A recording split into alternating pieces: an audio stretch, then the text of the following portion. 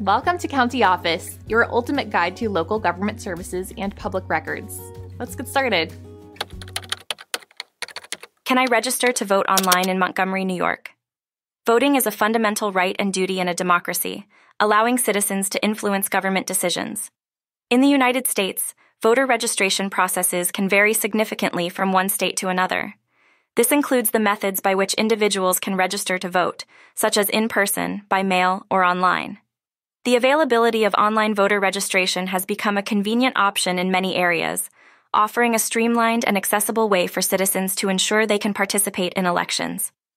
The state of New York has implemented online voter registration to make the process more accessible to its residents. This system allows eligible voters to register or update their registration details through a digital platform. The convenience of online registration encourages greater participation by reducing the time and effort required to register.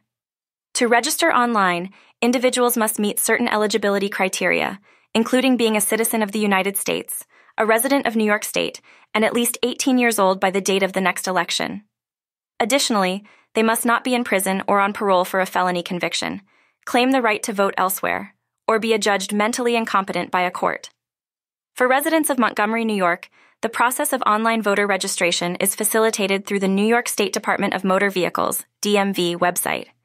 This integration allows applicants to use their New York State DMV issued driver's license, permit, or non driver ID to apply.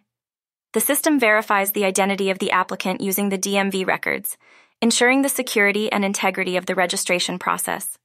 In summary, residents of Montgomery, New York can indeed register to vote online. This method simplifies the registration process, making it more accessible for eligible voters to exercise their right to participate in the democratic process.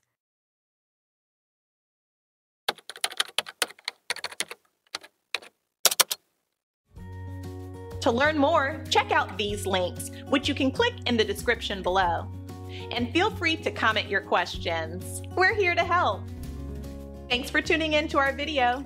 Please like and subscribe and leave a comment below. See you in the next video.